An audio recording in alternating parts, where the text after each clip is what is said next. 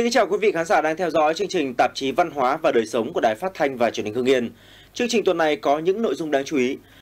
Trong mục muôn mặt đời sống, mời quý vị cùng theo dõi chùm phóng sự tăng nặng xử phạt các hành vi vi phạm quy định phòng chống dịch bệnh. Mục nét đẹp xứ nhãn, mời quý vị cùng theo dõi phóng sự thiện nguyện qua mạng xã hội, điểm sáng mùa dịch Covid-19. Sau đây mời quý vị và các bạn cùng đến với những nội dung chi tiết.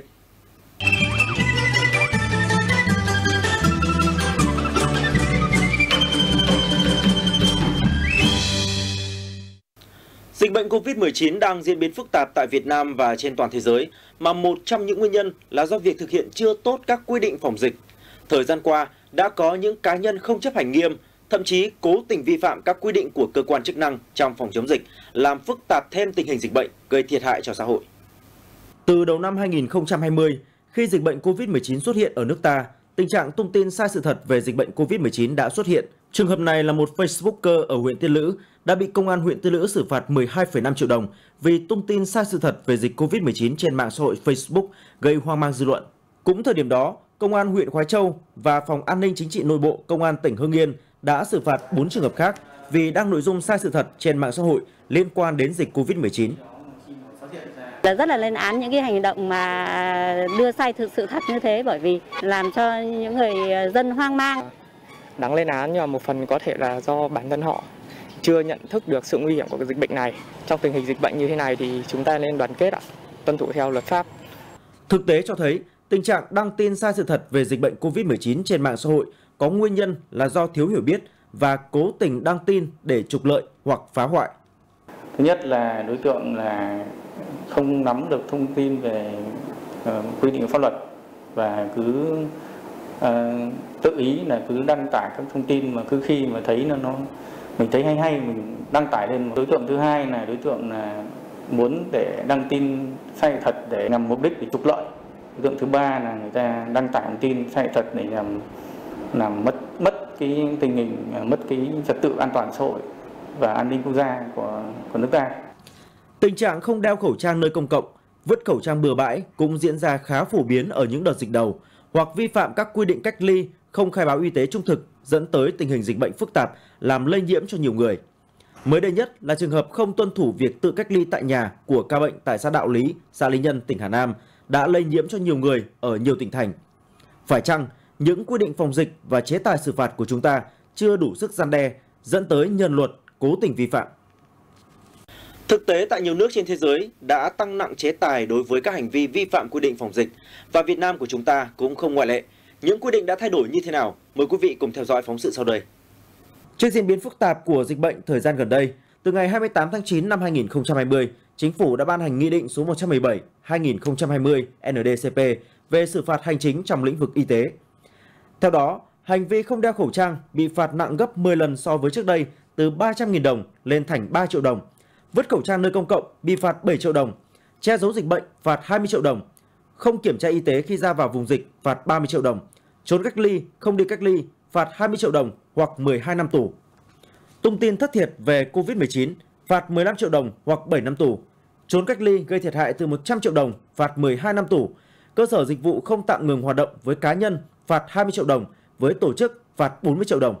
Không khai báo y tế, khai báo gian dối phạt 12 năm tù chủ karaoke, bar, massage không tạm dừng hoạt động phạt 12 năm tù, tấn công cản trở người thi hành công vụ phạt 7 năm tù, lơ là chống dịch gây hiệu quả nghiêm trọng phạt 12 năm tù, đầu cơ hàng hóa phạt 15 năm tù, tung tin thất thiệt về thuốc, vật tư phạt 20 năm tù hoặc trung thân.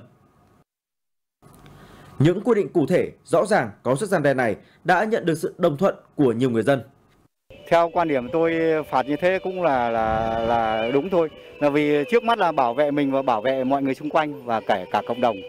Mọi người nên chấp hành theo cái quy định của nhà nước. Đeo khẩu trang và hoặc là đi ra ngoài sát khuẩn thì cái đấy sẽ tốt cho mọi người và tốt cho bản thân mình. Dịch thì nó diễn ra rất là phức tạp. Mọi người nên ờ, bảo vệ bản thân trước. Bảo vệ bản thân thì cũng là bảo vệ tất cả mọi người trong gia đình và xã hội. Có thể thấy, so với nhiều nước trên thế giới, chế tài xử lý người vi phạm các biện pháp phòng dịch của Việt Nam đã tương đối đầy đủ, gồm cả chế tài xử phạt hành chính đến xử lý hình sự. Những chế tài xử phạt đủ sức gian đe cùng các biện pháp tuyên truyền về công tác phòng dịch đã mang lại những chuyển biến tích cực trong đợt bùng phát dịch thứ tư, ghi nhận của nhóm phóng viên chương trình tạp chí Văn hóa và Đời sống. Thưa quý vị và các bạn, tôi đang có mặt tại ngã tư giao cắt giữa đường Nguyễn Văn Linh và đường Hải Thượng Lãn Ông, thành phố Hưng Yên. Hiện tại thì đang là giờ tan tầm. Tuy nhiên thì lượng à, phương tiện tham gia giao thông ít hơn so với thời điểm à, trước khi có dịch à, tương đối là nhiều và tất cả mọi người thì đều đeo khẩu trang. Đây cũng là thực tế được ghi nhận ở nhiều địa phương khác trên địa bàn tỉnh. Việc đeo khẩu trang đã dần trở thành thói quen với nhiều người. Dù là tham gia giao thông hay đi thể dục, hóng mát trong những ngày hè oi ả, thì cũng không thể thiếu những chiếc khẩu trang. Số lượng người đeo khẩu trang nhiều lên, nhưng tình trạng vứt khẩu trang bừa bãi đã giảm hẳn. Chị Nguyễn Thị Hạnh là công nhân vệ sinh môi trường của công ty trách nhiệm hữu hạn một thành viên môi trường và công trình đô thị thành phố Hưng Yên. Trải qua 4 đợt dịch, chị cảm nhận rõ sự thay đổi trong ý thức vứt khẩu trang của người dân thành phố. Rác khẩu trang trên, trên tuyến đường thì là tôi không thấy vứt bừa bãi như trước nữa. Và dân là có ý thức cao hơn nhiều. Khẩu trang của các hộ dân là tôi thấy là đều để đúng nơi quy định. Còn đây là những hình ảnh chúng tôi ghi lại tại một cây ATM. Dường như dịch Covid-19 đã giúp mọi người hình thành văn hóa xếp hàng. Chẳng ai bảo ai, nhưng ai đến trước đứng trước, ai đến sau đứng sau và luôn giữ khoảng cách an toàn phòng dịch. Một trong những vấn đề khó xử lý là tình trạng thông tin sai sự thật về dịch Covid-19 cũng đã có nhiều chuyển biến tích cực. Người dân đã có trách nhiệm hơn khi chia sẻ những thông tin về dịch. Những trường hợp câu like nhằm trục lợi cá nhân đã giảm hẳn. Giai đoạn 4 này thì chúng tôi đã thống kê này thì hiện nay chúng tôi chỉ có phạt 4 cái trường hợp bốn trường hợp là, là thông tin sai thật trên mạng trong cái đó là mấy giai đoạn trước là đều phạt mười mấy trường hợp trở lên xu hướng là sẽ giảm dần Hưng Yên hiện đã ghi nhận trên 30 ca mắc Covid-19, tuy nhiên chúng ta vẫn đang khống chế tốt dịch bệnh. Người dân tuân thủ các quy định cách ly, phong tỏa, khai báo y tế để cùng cả tỉnh ngăn chặn dịch bệnh. Với những chuyển biến như hiện nay, tin tưởng rằng dịch bệnh Covid-19 sẽ sớm được đẩy lùi.